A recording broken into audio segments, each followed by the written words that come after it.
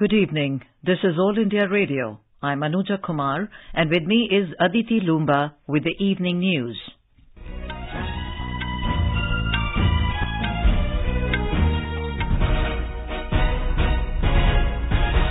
The headlines. Prime Minister Narendra Modi holds bilateral talks with President of United Arab Emirates Sheikh Mohammed bin Zayed Al Nahyan at Abu Dhabi. Both leaders reiterate commitment to further deepen and diversify India-UAE comprehensive strategic partnership. India assures world community of its commitment to protect at least 30% of lands, waters and oceans and adhere to its commitment of 30 by 30 by 2030 in UN Ocean Conference at Lisbon. Government launches e-learning portal Dak Karmyogi to enhance competency of about 4 lakh Grameen Dak Sevaks and departmental employees. In Jammu and Kashmir, annual Sri Amarnath Ji Yatra to commence from Thursday. Vice President M. Venkaiah Naidu and Prime Minister pay tributes to former Prime Minister P.V. Narasimha Rao on his birth anniversary today. In Maharashtra, the death toll in the building collapse rises to 17. Rescue operation underway. Sri Lankan cabinet grants to open fuel imports and retail sales market to companies from oil exporting nations. At Wimbledon, Rafael Nadal and Stefanos Tsitsipas to be seen in action tonight and in cricket. Second and final T20 international match between India and Ireland underway in Dublin at 9 p.m. And now the news in detail. Prime Minister Narendra Modi held bilateral talks with President of United Arab Emirates Sheikh Mohammed bin Zayed Al Nahyan at Abu Dhabi today. Both leaders reiterated their commitment to further deepen and diversify the India-UAE comprehensive strategic partnership. The Prime Minister has emplaned for Delhi after concluding his visit to the UAE. Earlier, Mr. Modi reached Abu Dhabi this afternoon after attending the G7 summit in Germany. He was received by the President of UAE. The Prime Minister said he was touched by the special gesture of Sheikh Mohammed bin Zayed Al Nahyan of welcoming him at the Abu Dhabi airport. Mr. Modi conveyed his personal condolences on the passing away of Sheikh Khalifa bin Zayed Al Nahyan last month to President Sheikh Mohammed bin Zayed Al Nahyan and other royal family members. The Prime Minister also congratulated Sheikh Mohammed bin Zayed Al Nahyan on his election as the third president of the UAE and becoming the ruler of Abu Dhabi. Earlier in a tweet, Mr. Modi said he had a productive visit to Germany in which he attended the G7 summit, interacted with several world leaders, and participated in a memorable community program in Munich. He added that the leaders were able to discuss many issues aimed at furthering global well-being and prosperity. Home Minister Amit Shah today said that Prime Minister Narendra Modi has entrusted the responsibility of contributing to the prosperity and economic upliftment of the country to the cooperative sector. He was addressing the 70th AGM of the Gujarat State Cooperative Agriculture and Rural Development Bank Limited in Ahmedabad through video conferencing. The minister said India is celebrating Azadi Ka Amrit Mahotsav and will celebrate the centenary of independence after 25 years. He emphasized that the Prime Minister has placed the resolve of Sahkar Se Samriddhi before the nation. Mr. Shah added, due to reforms in the banking sector, citizens are receiving benefits of banking services. India today assured the world community that it is committed to protect at least 30% of lands, waters and oceans and adhere to its commitment of 30 by 30 by 2030. Delivering the India statement at the UN Ocean Conference at Lisbon, Minister for Earth Sciences Dr. Jitendra Singh said that under the leadership of Prime Minister Narendra Modi, all efforts are going on to achieve the 30 by 30 target in a mission mode as per the COP resolutions. He said he is at the UN forum to present Mr. Modi's vision for conservation and sustenance of ocean and ocean resources before the world. Our correspondent reports that India joined the High Ambition Coalition for Nature and People, which was initiated at the One Planet Summit in Paris in January last year. The coalition aims to promote an international agreement to protect at least 30% of the world's land and ocean by 2030. Dak Karm Yogi, an e-learning portal of the Department of Post, was launched by Communications Minister Ashwini Vaishnaw and MOS Communications Devusinh Chauhan in Delhi today. This portal has been developed under vision of Mission Karm Yogi, which was conceptualized by Prime Minister Narendra Modi to bring efficiency in actions of all government employees. Dak Karm Yogi portal will enhance the competencies of about 4 lakh Grameen Dak Sevaks and departmental employees. Education and Skill Development Minister Dharmendra Pradhan today stressed the need to adopt innovative and out-of-box methods to enhance access to quality and affordable education.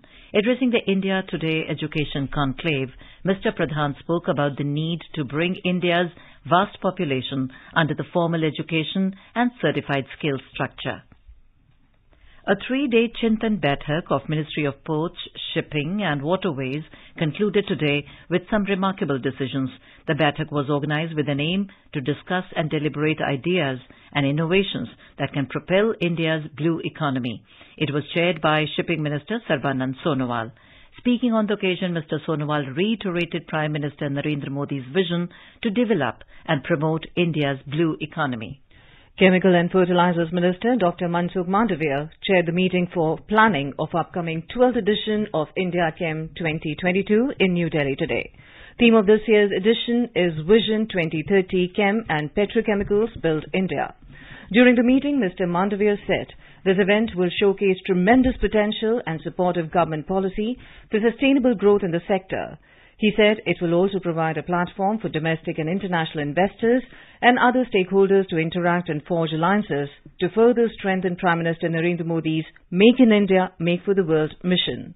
Dr. Mandaviya also launched the brochure for the 12th edition of India Chem 2022. Minister of State for Chemicals and Fertilizers Bhagwan Khuba and Secretary Aarti Ahuja along with members from FICCI and senior officials of the ministry were also present in the meeting. The centre has advised caution and continuous alertness to states reporting a surge in COVID cases during the past few weeks and to step up vigil against COVID. Health Secretary Rajesh Bhushan reviewed the status of COVID situation through a video conference with 14 such states that are reporting high number of cases on a week-to-week basis along with increased case positivity combined with low numbers of COVID tests and below average COVID vaccination. Member Health of Niti Aayog, Dr. Vinod Paul, was also present at the review meeting. Dr. Paul advised states that have been reporting spike in COVID cases to be watchful of the emerging pandemic situation. He stressed that the major action point is to focus on strengthening proactive surveillance as per the revised surveillance strategy issued by Union Health Ministry on the 9th of June. He said routine surveillance constitutes the steel frame of COVID response and management strategy and needs continuous and unstinted attention.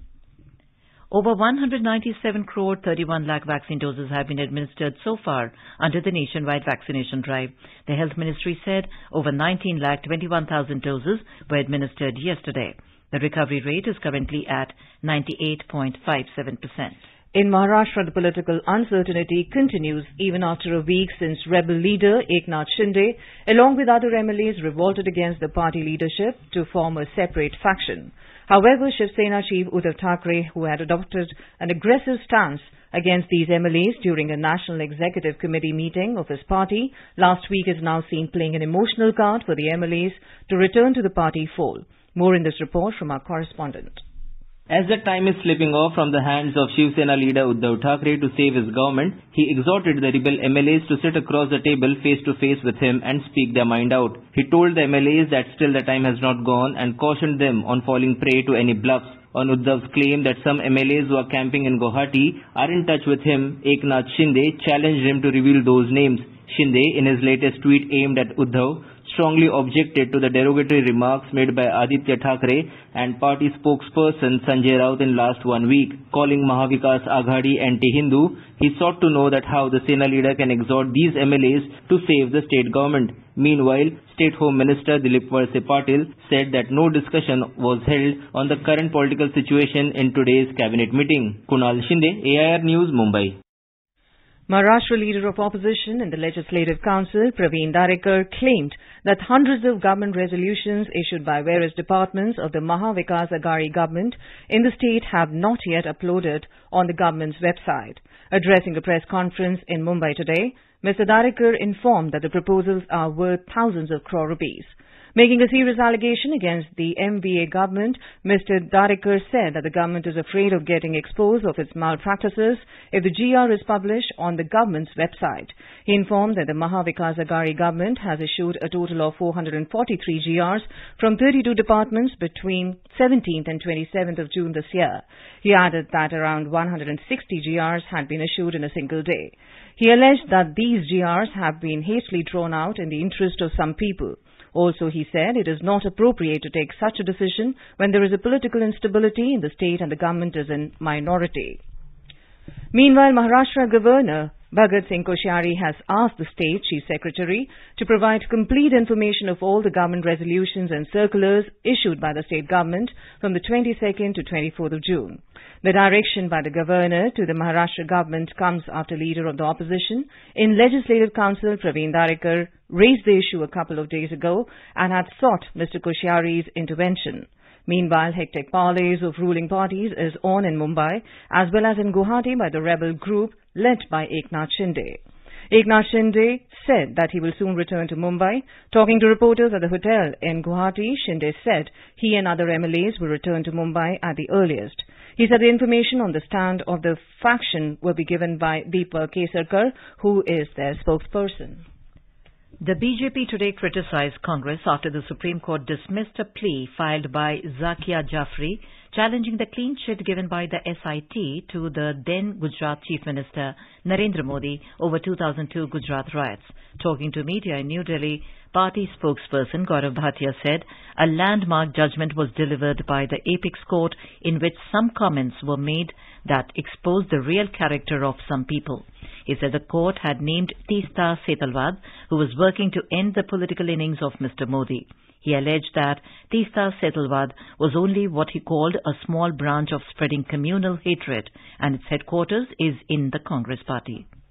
Zakia Jafri ने जो सर्वोच्च न्यायालय में एक याचिका प्रस्तुत करी थी उसको खारिज किया गया लेकिन कुछ टिप्पणियां जो करी गई उसके बाद खुद को जो मानव अधिकार है उसकी रक्षा करने का ठेका लेके बैठे कुछ लोग और उनका असली चरित्र सामने आया to keep the pot boiling obviously for ulterior design as a matter of fact all those involved in such abuse of process need to be in the dock and proceeded with in accordance with law.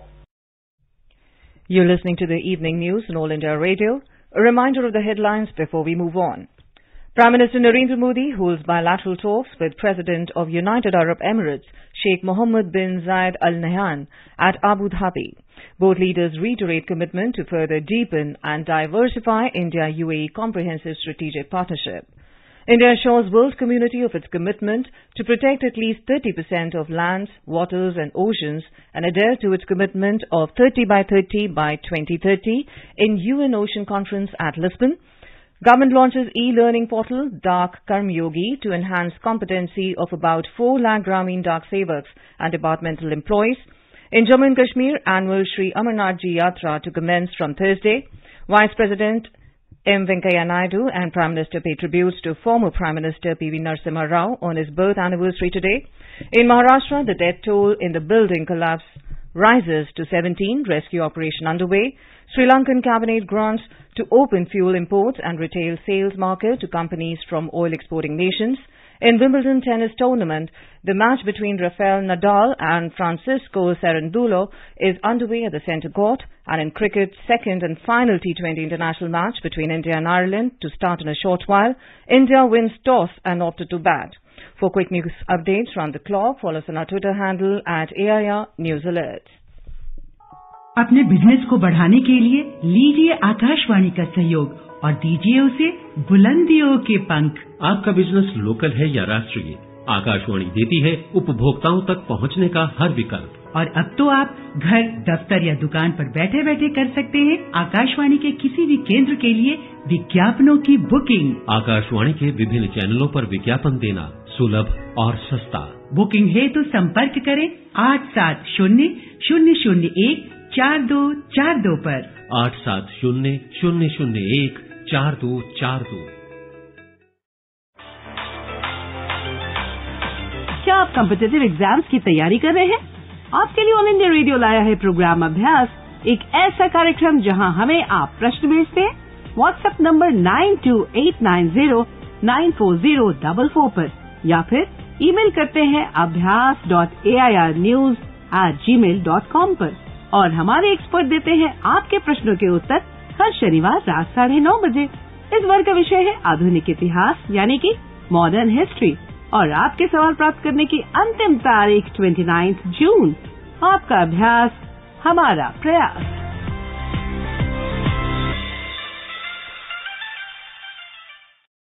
Welcome back to the evening news on All India Radio. Prime Minister Narendra Modi will participate in the Udyami Bharat program in New Delhi on the 30th of this month. During the event, the Prime Minister will launch the Raising and Accelerating MSME Performance Scheme, Capacity Building of First Time MSME Exporters Scheme, and new features of the Prime Minister's Employment Generation Program, PMEGP. The Prime Minister will also digitally transfer assistance to beneficiaries of PMEGP for 2022-23. He will announce results of MSME Idea Hackathon 2022 and distribute National MSME Awards. Mr. Modi will also issue digital equity certificates to 75 MSMEs in the Self-Reliant India Fund. Udyami Bharat is reflective of the continuous commitment of the government right from day one to work towards empowerment of MSMEs. The government has launched several initiatives from time to time, like Mudra Yojana, Emergency Credit Line Guarantee Scheme, and Scheme of Fund for Regeneration of Traditional Industries. This has been done to provide necessary and timely support to the MSME sector, which has helped benefit crores of people across the country. Ministry of Statistics and Program Implementation is celebrating Azadi Ka Amrit Mahotsav Week by organizing a series of activities. As a part of the celebrations, the ministry organized a half-day seminar today in hybrid mode on the topic Data for Sustainable Development, India's Environmental Accounts and its Role in Policy and Decision Making. The seminar intends to provide an accelerated push towards valuing nature and using these values in the global and national statistics aligning with the International Statistical Standard System of Environment Economic Accounts Framework. Students from Shimla who are in Kochi as part of Azadi Ka Amrit Mahotsav Ek Bharat Shresht Bharat initiative of the Union Government today visited the Hill Palace Museum at Tripunithura this afternoon. The palace, which was once belonged to Rajas of Kochi, currently houses the biggest archaeological museum in the state. The students also visited the Sri Poornathrayeesa temple in Tripunithura. Earlier, the students were introduced to the rich cultural heritage of the state through a video presentation. Most students who were visiting Kerala for the first time were brimming with anxiety and joy as they left the host institution for exploring the new places. Lok Sabha Speaker Om Birla, along with the Minister for Road Transport and Highways Nitin Gadkari, gave away National Highways Excellence Award 2021 to the stakeholders and companies engaged in the highway construction and maintenance of road assets in New Delhi this evening. These Excellence Awards were con constituted in 2018 with an aim to incentivize stakeholders in the highway construction and maintenance process and to create a spirit of healthy competitiveness amongst them. Speaking on the occasion, the Lok Sabha Speaker said, because of frequent actions and extraordinary works by Road Transport and Highways Ministry in road and highway construction, people's faith in the government has increased. He said India will touch new heights in terms of road connectivity and road infrastructure in times to come. Infrastructure के क्षेत्र के अंदर, जिस तरीके से भारत ने नई गति दी है, आने वाले समय के अंदर, हम ये कह सकते हैं कि दुनिया के अंदर इंफ्रास्ट्रक्चर के क्षेत्र के अंदर, भारत एक कीर्तिमान हासिल करेगा और निश्चित रूप से उसी दिशा के अंदर कि जितने भी इंफ्रास्ट्रक्चर के सेक्टर हैं, उन सेक्टर को एक प्लेटफॉर्म पर लाया जाए और इसलिए पीएम गति शक्ति मास्टर प्लान योजना बनाई गई। In his address, Mr. Gadkari said, along with road infrastructure, there is a need to think about road safety and enhancing greenery on the roadsides. He expressed hope that Indian roads will be of American standard by 2024 with the speed in which NHAI and his ministry are working with. Our correspondent reports that around 122 nominations were received, of which 30 final nominations were selected for these awards. Minister of State for Road Transport and Highways Dr. V.K. Singh was also present in the event. Union Minister for Finance and Corporate Affairs, Srimati Nirmala Sitharaman, today chaired the 47th GST Council meeting in Chandigarh. Our correspondent reports that on the beginning day of the two-day meeting today, the interim report on rate rationalization submitted by the group of ministers was accepted by the Council. The representatives of all states and UTs attended the meeting. The state governments have asked for continuation of GST compensation after the 30th of June and are hopeful of a positive response on their request. Finance Minister Nirmala Sitharaman will address the media tomorrow. News just in, COVID vaccination coverage has crossed 197 crore 44 lakh so far under the nationwide vaccination drive. More than 11 lakh vaccine doses were administered today. Vice President M. Venkaiah Naidu and Prime Minister Narendra Modi today paid tributes to former Prime Minister P.V. Narasimha Rao on his birth anniversary. In a tweet, Mr. Naidu said, a visionary statesman and a towering intellectual, P.V. Narasimha Rao ushered a major economic reform. In a tweet, Mr. Modi said, India is grateful to him for his rich contribution to national progress. He added that the former Prime Minister also made a mark as a great scholar and intellectual. In Jammu and Kashmir, the annual Sri Amarnath Yatra will commence from 30th of this month. Elaborate security and other necessary arrangements have been finalized for the smooth conduct of the Yatra this year. Commissioner Secretary Floriculture, Sheikh Fayaz and Secretary Tourism, Sarmad Hafiz today visited Sonmarg in Ganderbal district and reviewed the arrangements put in place by the government departments and service providers for the smooth conduct of the forthcoming Sri Amarnath Yatra scheduled to commence from Thursday. Appreciating the gesture of the service providers, the two secretaries said this is ingrained in the ethos of the local people who have been welcoming tourists and yatris with open arms for long. In Maharashtra, the death toll in the building collapse at Kurla's Nayak Nagar in Mumbai has risen to 17. The BMC said the injured people are being treated at Rajawadi and Sion Hospital. The four-story building collapsed last night. As many as 13 people have sustained injury in the incident. According to the official, the rescue operation is still underway.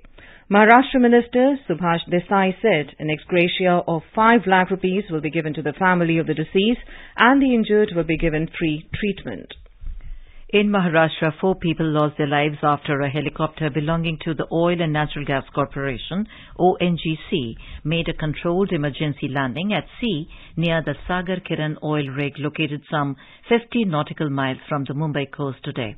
According to ONGC press release, of the nine people on board, including two pilots, they were safely rescued by teams of Indian Coast Guard and Indian Navy. Four of those rescued, however, succumbed after they were shifted to a private hospital in Mumbai. The press release stated that detailed probe of the incident has been ordered. The Sri Lankan cabinet today granted to open fuel imports and retail sales market to companies from oil exporting nations. This comes after the country ran out of fuel as only 1,100 tons of petrol and 7,500 tons of diesel are left, which are not sufficient to last for a day. Power and Energy Minister Kanchan Wijesekera said that the companies will be selected upon their ability to import fuel and operate without forex requirements, reports the Sri Lankan Daily. He said the Ceylon Petroleum Corporation will be the service provider for logistics, stocking and distribution with a service fee levied from those companies. In United States, at least 50 people were found dead in an abandoned truck on the outskirts of San Antonio, Texas. It is believed to be the worst recent case of migrant deaths due to smuggling in the U.S. Mexico's foreign minister confirmed 22 Mexicans, 7 Guatemalans and 2 Hondurans are among the dead. 16 people, including 4 children, were taken to the hospital. Three people are being held in custody and the investigation has been handed over to the federal agents. Mexico's foreign minister Marcelo Ebrard said today that it had joined the investigation. On the second day of Wimbledon tennis tournament, the match between Rafael Nadal and Francisco Cerundolo is underway at the centre court.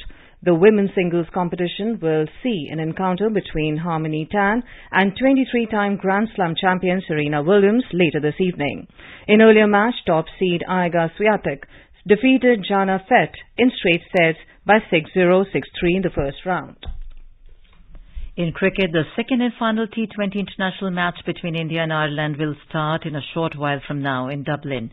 India have won the toss and opted to bat first. India defeated hosts Ireland on Sunday by seven wickets in the rain-interrupted opening encounter of the two-match series.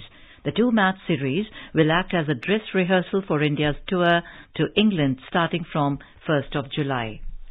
The Sensex and the Nifty today ended almost flat. Both stock indices added marginally amid positive global cues. A report from the business desk. Sensex at the Bombay Stock Exchange rose by 16 points to finish at 53,177. Nifty at the National Stock Exchange also added 18 points to settle at 15,850. In the foreign exchange market, the rupee weakened by 44 paise against the US dollar. The domestic currency closed at 78 rupees and 79 paise against the American unit. Gold was trading at 50,925 rupees per 10 grams.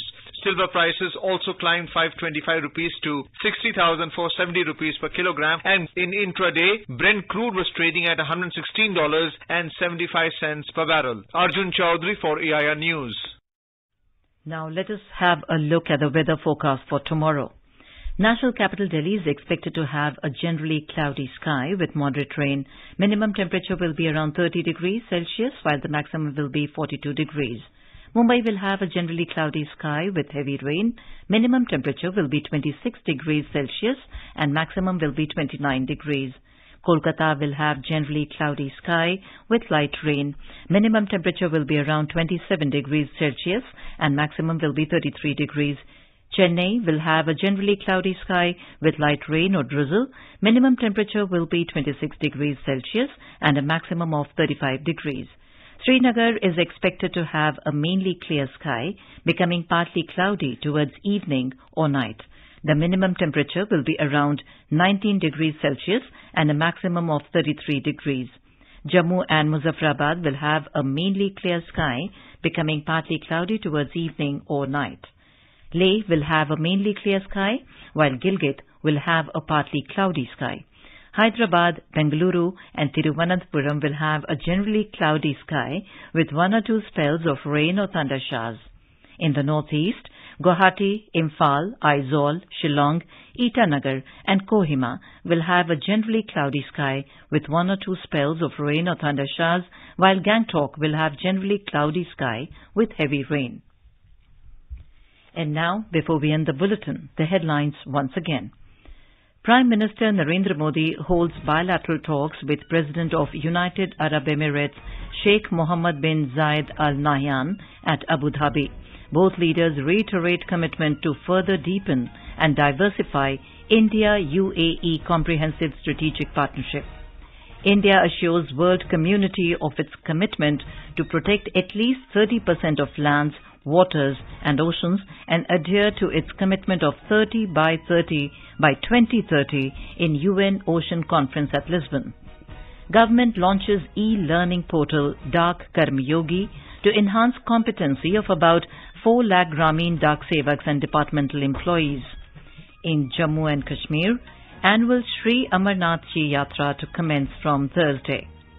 Vice President M. Venkaiah Naidu and Prime Minister pay tributes to former Prime Minister P.V. Narasimha Rao on his birth anniversary today. In Maharashtra, the death toll in the building collapse rises to 17, rescue operation underway. Sri Lankan cabinet grants to open fuel imports and retail sales market to companies from oil exporting nations. At Wimbledon, Rafael Nadal and Stefanos Tsitsipas to be seen in action tonight. And in cricket, second and final T20 international match between India and Ireland underway in Dublin at 9 p.m. For details of these stories and more, log on to our website www.newsonair.gov.in and News on AIR app. And with that, we end the evening news. Good night.